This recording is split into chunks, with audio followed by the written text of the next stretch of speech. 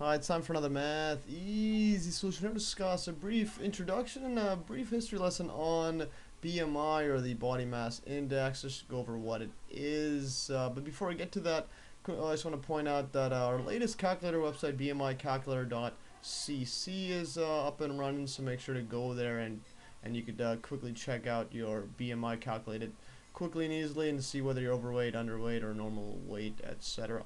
Basically, BMI is short for body mass index. It's also called the Quetelet index. This is basically uh, what it, it, was originally called, and it was named after the basically the founder Adolphe Quetelet. Uh, basically, it's a measure of relative mass uh, based on an individual's mass and height. And the units are kilograms over uh, meters squared. I'll go over it in a, more of that in a bit. Basically, BMI, the formula is defined as the individual's body mass divided by the square of the height in units of uh, kilograms over um, meters squared. So basically, mass divided by height squared. And in imperial imperial conversion, if you want to use uh, pounds and in inches, you could just convert this uh, basically one kilogram times this by the uh, conversion ratio one, one kilograms equal to 2.204 etc pounds and then divided by uh, height here, but then multiply the height by 1 meter is equal to 39.37 inches, and then square all that, plug this, plug this into the calculator, you get a ratio of the 703, so basically you could use the imperial uh, pounds and inches, and just multiply by 703 to get 2 kilograms per meter squared. So th this uh, these units just cancel off this bottom one here using this conversion ratio. So basically, uh, the BMI classification is the international standard, uh, except to be slightly modified for any specific country, but it's uh, basically it's all very similar to this. Uh, basically, underweight is considered as eight, less than 18.5 uh, BMI of that. Normal range between 18.5 and 24.99, or or just between 25 and 18.5.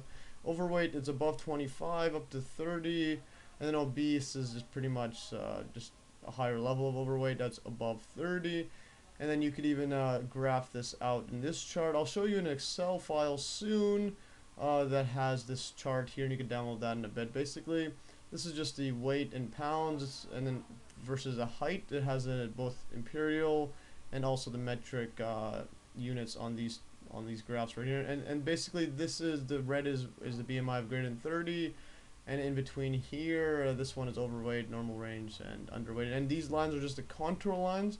So this yeah for example this line has the exact same BMI at any height. So someone that's um, let's say five seven if he's if he has the same BMI someone six three if you're if you start here and then you basically just follow this line and you can see the height and and weight of uh, that they should be both if they're both the same fitness level etc and uh, basically, yeah, so then this one here, this is about 25. So this whole line is all 25. That's what a contour line is.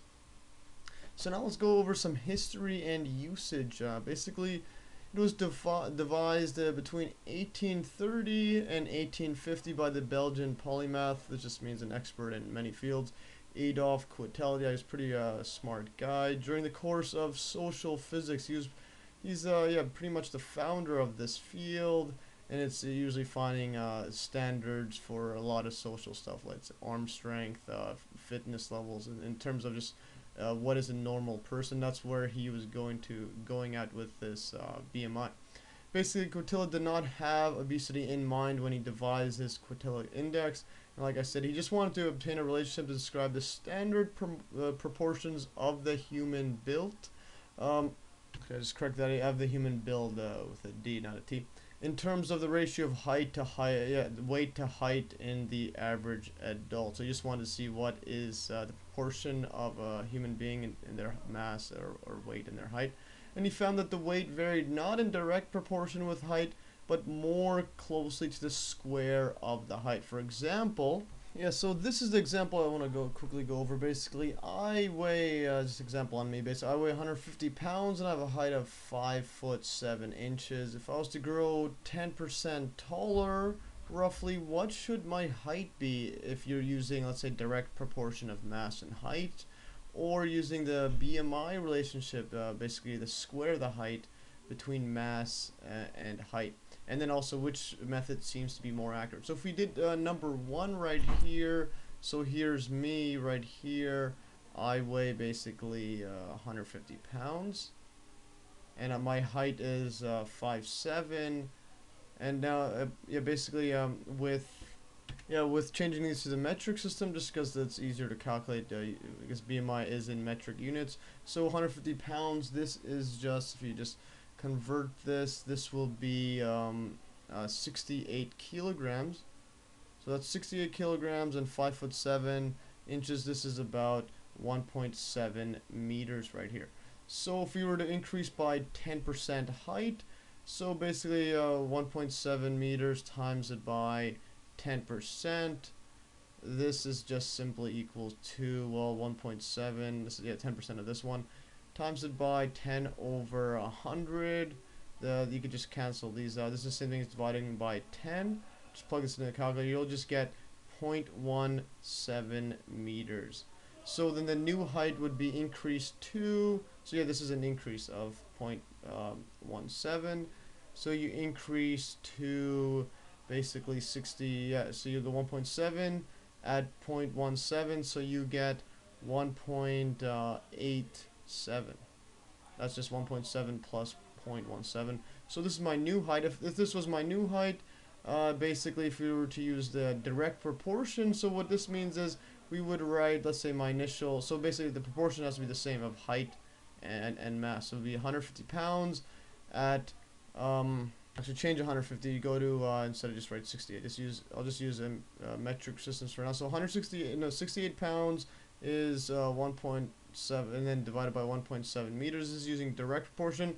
If the proportion stays the same, then this would be basically 68. So we have to find the mass, and again, that's that's just going to be 10% uh, higher. So then here's this 1.87 meters. So you could just either go 10% of 68 and then add it up, or you could just uh, solve it this way. So we get m is equal to 68 times the yeah divided by 1.7, just solving it times 1.87.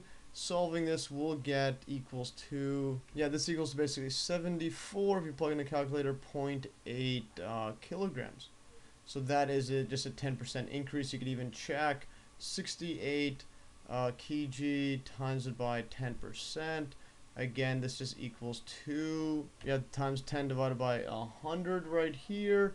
And then basically this is just same thing as dividing by 10, so that is uh, 6.8. And then if you add 68 plus 6.8, or yeah, right here, this is just 10%. And again, the same thing as doing the whatever I, I did over there. So you get 74.8 kilograms right here.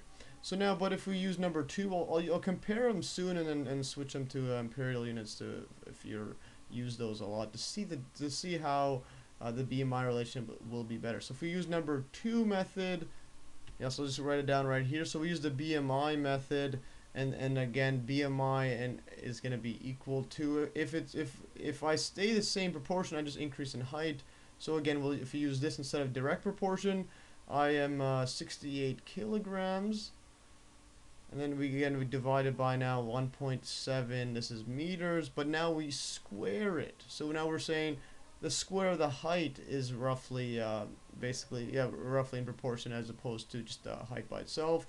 And then again we go to mass then divided by now this is the uh, increase in height to 1.87 that's 10% increase.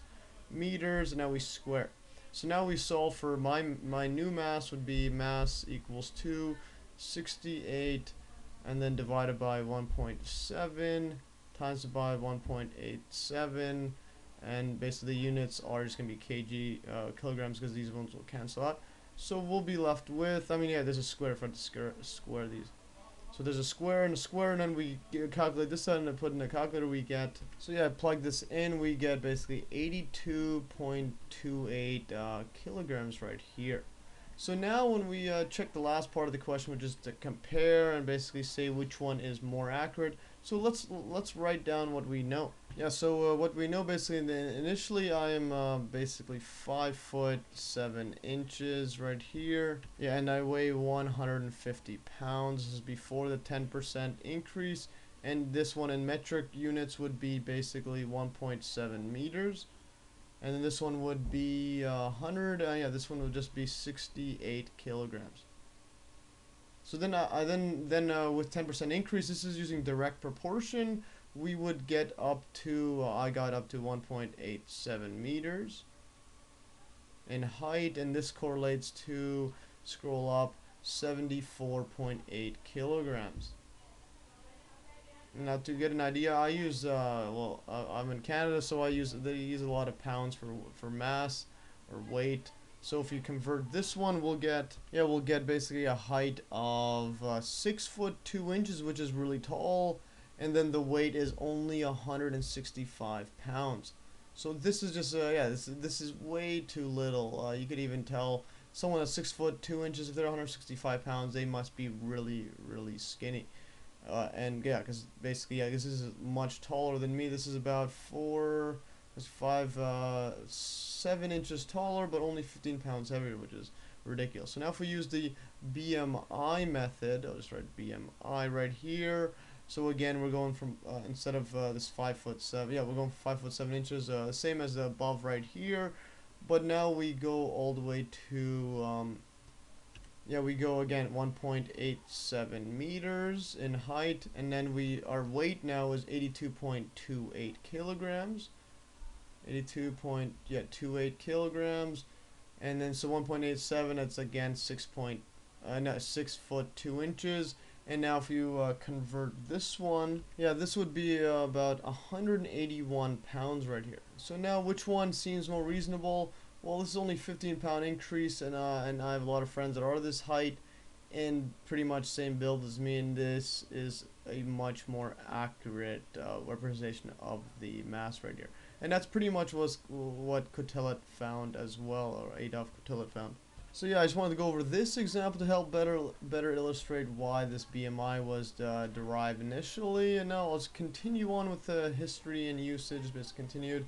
Uh, the BMI was not used, or the Quintillet index, that's what it was referred to for a long time, was not used widely until after World War II when the relationship between weight and cardiovascular disease yeah, became basically a subject of study. Uh, this is a reference from Econ Hen or something, uh, 2007.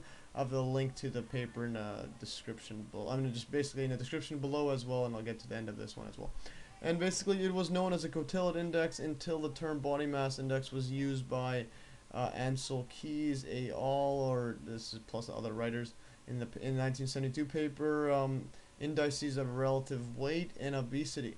And, and they basically concluded that the BMI was the best proxy for body fat percentage among ratios of weight and height. So it's again better than the uh, the direct proportion and, and some other factors like taking averages of population, etc. And the BMI uh, it's used widely as a simple method to assess how much individual's uh, body weight departs from what is normal for a person of his or her height. It's really simple, so it's not 100% accurate, but it's just the, the fact that it's simple. It's used a lot. It's really quick, and it's it's uh, it's a global uh, value. You don't need to look at population uh, too strictly. And, and also there's a, but then there is once again a strong debate on the BMI scale, what thresholds should be for overweight and obese classifications, and also there's limitations at the BMI and such limitations include scaling up. Larger in individuals have larger BMIs even if exact same proportions. This is because mass is not directly related to height squared. It's a bit more complicated than that but the scaling up usually will give higher BMIs. I'll, I'll go over this in later videos. And also high muscle mass individuals give higher uh, BMI values even if they're fit because muscle weighs more than fat so then a, a bit of muscle would would count as if it's a, a, lot of fat because it just weighs it just weighs a lot more so even if they're fit it could still say that they're uh, overweight even if they're not and also variations with age gender and populations uh, there's some limitations on those, but in a general international standard, BMI is pretty quick and it it's really good for a relative comparing it to um, other people really quickly. And also many different ratios have been invented but not have been used as often and they're all they are a bit more complicated than the BMI. Also BMI is used as a comparison of the general health of populations in different countries You can go to this link um, in here. I also put in the link below. It's from the uh, World Health Organization website, and they have a BMI section on there as well. And also references here. I, I also included these in the video description below. And basically, you get it, uh, got it from Wikipedia, and also this paper on its uh, biography slash yeah, a biography uh, written by this guy Garabed Ikonahan on Adolphe Quetelet, and also the indices uh, that he came up with, and other ones about obesity. And also it was from the this this yeah from this paper. You could go to mes.ph slash notes slash five forty one uh, one, and just click there. The links are also in the bottom. And and then another one. This one is that other paper um, that they found. Yeah. So this paper is basically uh, where they used the word BMI for for the first time or body mass index. Before it was always called Quetelet index until 1972.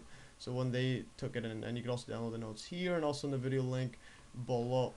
And also I'll go over uh, some other stuff I have here. Here I've made a quick, uh, basically a quick BMI Excel sheet.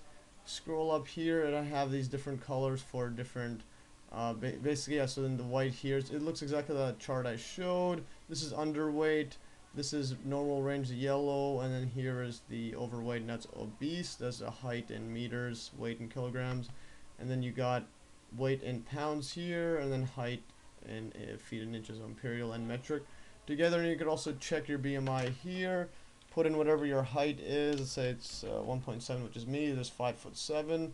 It all automatically converts. This one's just for uh, metric right except it just it tells you what the weight is in pounds but so where you go right here you go 80 you got 27.7 then you can look in this graph where 27.7 is. Uh, that is basically uh, this is a good um, yeah this is this is overweight this is slightly overweight here yeah, so I've included this exact uh, Excel sheet as well, so if you want to play around with it, check your BMI and check other ranges in the uh, links below, and uh, that's going to be at mes.ph slash notes slash 541 o and also have the PDF notes or Word notes of this, uh, these links, and also in the video links all below. And now just one more thing, I just want to quickly just show you the website we got, bmicalculator.cc.